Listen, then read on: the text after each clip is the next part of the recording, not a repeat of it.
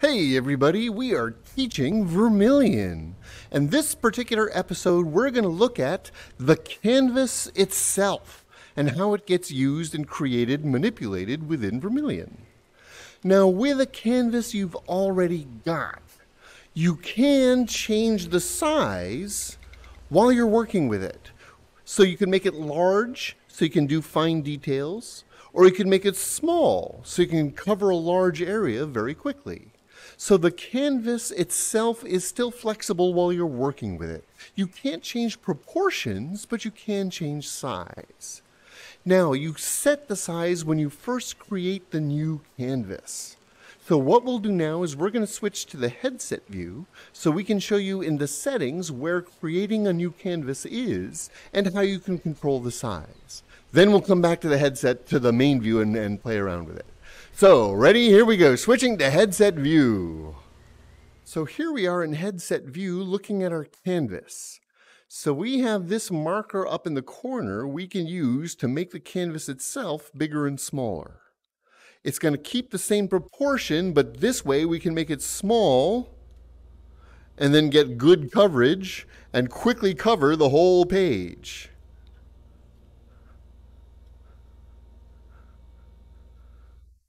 Or we could make it very big so we could grab a fine brush and do a lot of little details.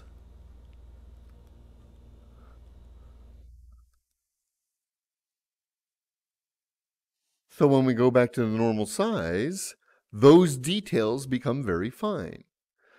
So canvas size is controlled by that handle and can be done on the fly. Now, when you create a new canvas, in our settings, under the floppy disk, that uh, is an extinct creature called a floppy disk. They used to roam offices by the thousands, but now they're completely extinct. But we're still going to use that same button to represent new files. Start New Painting is where we create a new canvas. Okay, so now our canvas, it shows in inches how big it is right now. So as we grab it, we can change width and height, and it's going to tell us in inches how big roughly that canvas is. So the widest versus the tallest versus the biggest square.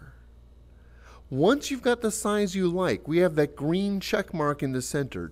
Touch the check mark.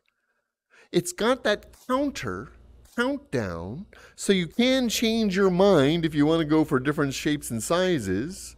Until you find the one you like, then let it complete. Now the canvas will still change size, but no longer change proportion. So it gives you the inches in case you're intending to print it for frame, or we can choose any proportion we want.